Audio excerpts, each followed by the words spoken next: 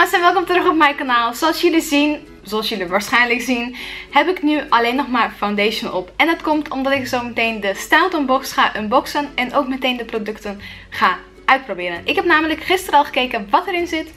En het zijn allemaal hele leuke make-up productjes, dus ik dacht, oké, hier wil ik zeg maar zo'n video van maken waarin ik de producten laat zien die erin zitten. En dat ik ze ook maar meteen gebruik. Hier heb ik ze. Oh, er staat nog wat in. Hier heb ik ze en ik ga ze ook meteen uitproberen. Dus heb je zin in deze video, doe dan gezellig alvast je duimpje omhoog. En vergeet je ook niet te abonneren op mijn kanaal als je hier nieuw bent. En oh ja, laat me ook even bij de reacties weten of jij dit een leuke manier van een unboxing vindt. En laten we beginnen. Oké, ik heb dus nu alleen nog maar um, foundation op. Dus ik begin met de poeder. In de, uh, de Staton box zat deze poeder van het merk Hikari. Ik ken dit merk nog niet. Maar het is zo'n pressed silica powder. En ik, was er heel erg naar benieuwd. Maar helaas is er een ongelukje gebeurd waardoor mijn poeder in duizend stukjes ligt. Nou, vind ik dat voor deze video niet zo erg.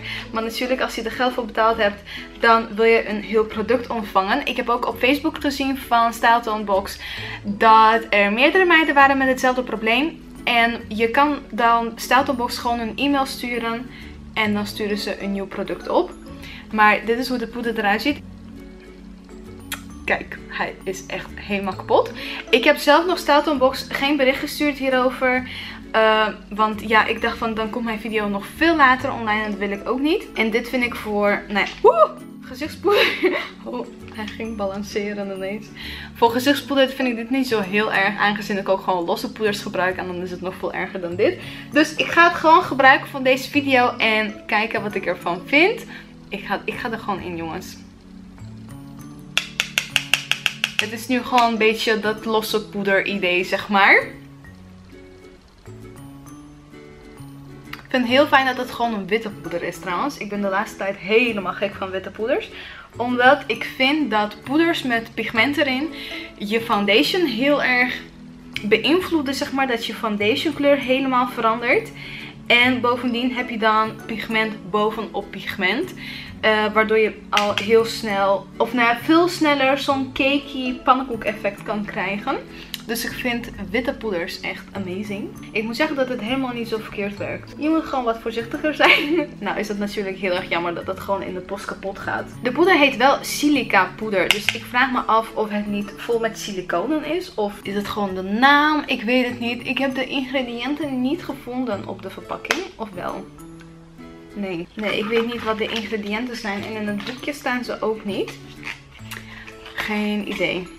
Mijn haar is vandaag zo ontzettend ontploft. Ik heb het net gesteld, maar het is echt...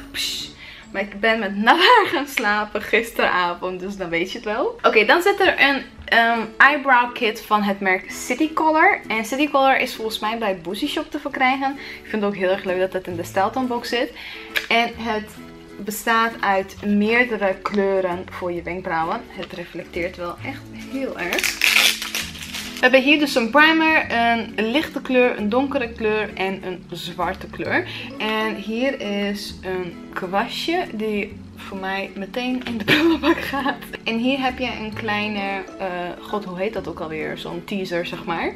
Dus dat is wel heel erg handig. Ik, ik heb eigenlijk nog nooit een primer gebruikt voor mijn wenkbrauwen. Um, en ik ga het vandaag ook niet doen. Ik ben bang dat ik het een beetje verpest. Dus ik ga wel gewoon met mijn favoriete kwast voor mijn wenkbrauwen dit gebruiken. En ik denk dat ik gewoon meteen voor de bruine kleur ga. Ik hou wel van donkere wenkbrauwen. Ik hoop dat het niet te donker wordt.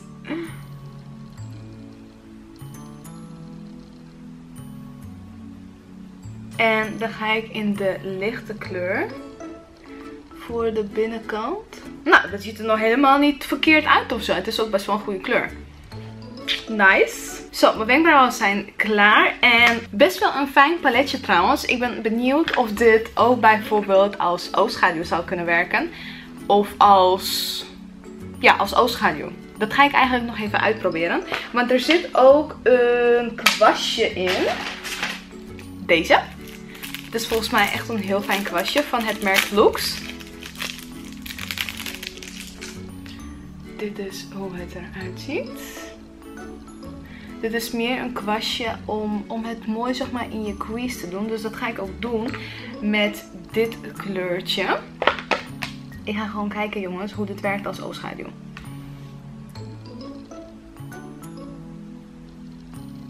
Dit is echt een perfecte kwast om in je crease te werken. Hij, hij had van mij wel iets zachter gemogen trouwens. Oké, ik ga gewoon in de donkere kleur.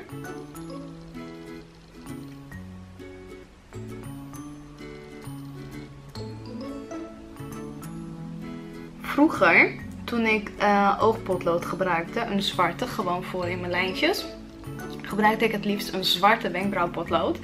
Omdat volgens mij blijven wenkbrauwproducten net iets langer zitten of zo. Tenminste, dat idee had ik heel erg. Dat mijn, als ik zeg maar een wenkbrauwpotlood gebruikte voor in mijn waterlijn of zo, bleef het langer zitten. Dus misschien is dat ook zo met wenkbrauwpoeders. Dat ze iets beter blijven zitten dan oogschaduw. Ik weet het niet hoor, maar misschien zit het ook gewoon tussen mijn oren. Maar hij doet het nog best wel goed als oogschaduw. Dus daar kan je het ook voor gebruiken. Als je bijvoorbeeld hele uh, lichte wenkbrauwen hebt, kan je de zwarte wel gebruiken als oogschaduw voor je smoky eye. Oké, dan zit er iets in de box waar ik helemaal niet mee overweg kan. En dat is namelijk een eyeliner.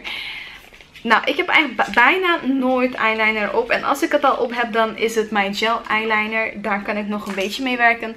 Maar dit is een eyeliner. Het is trouwens van het merk Note. En het is een Ultra Black Dip Liner. Dit is hoe dit eruit ziet. En dit is hoe het topje eruit ziet. Het ziet er wel goed uit. Het is ook gewoon mooi dun. Maar ik ben echt bang dat ik alles ga verpesten. Het is vandaag heel raar zonnig eigenlijk. Zon is heel hoog. Ik ga even mijn zonnescherm naar beneden doen. Want echt een rare verlichting zo. Goed, ik ga het gewoon proberen. Oh, ik durf niet man. Ik ben gewoon echt bang dat ik alles ga verpesten. Oké, ik ga het gewoon doen op de manier dat ik mijn gel eyeliner ook doe. Dan begin ik altijd aan het uiteinde. Nee, ik ga anders doen. Ik ga, ik ga gewoon go with the flow. Ik ga gewoon go with the flow. En dan uh, zien we het wel. Ik ga trouwens zo naar beneden kijken, want hier heb ik mijn spiegel. Oh, oké.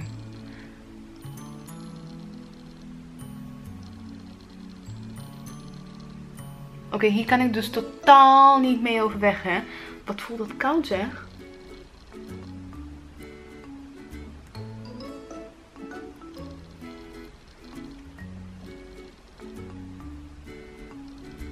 Oh, mijn voet is gaan slapen. Hoezo slaapt mijn voet altijd hier als ik aan het filmen ben?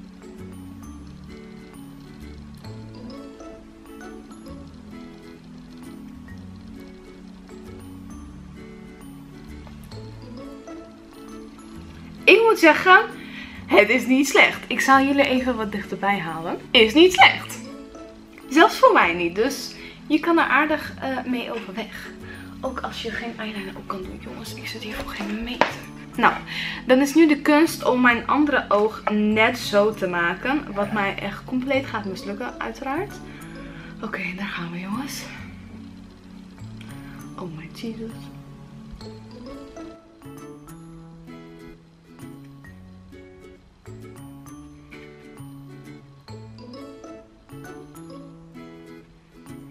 Oké, ik wil ook een wing. Maar als ik een wing ga doen, dan... Nee, ik ga het niet eens proberen. Want ik moet vandaag ook nog de deur Even snel mijn mascara op. Oké, en het allerlaatste wat er in de box zit is deze super mooie lipstick. Um, Zo, mijn stem. Eh, de totale waarde, of de totale waarde, volgens mij kost de lipstick al 20 euro. En de box kost nog geen 13 euro. Dus dat is een super goede deal. Ik heb echt een hele mooie kleur. De kleur heet... Um... De kleur heet Hot Head. Hier staat het ook. Je had één van de drie kleuren kunnen krijgen. En er is een nude, een paarsige en deze rode. Ik ben echt wel blij met deze. Echt super mooie kleur. En het is dus een liquid lipstick. Of een lip cream. Lip cream. En het is de bedoeling volgens mij dat het mat opdroogt. Dus ik ben... Het ruikt heel sterk. Naar snoepjes. Dus dat vind ik wel lekker. Ik hou heel erg van, ja hoe zeg je dat? Echt van dat chemische snoepgeur. Daar hou ik heel erg van.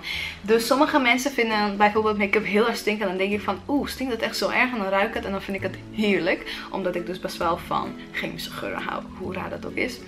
Maar deze ruikt als chemisch snoep. Dus ik vind het lekker. Mooie kleur.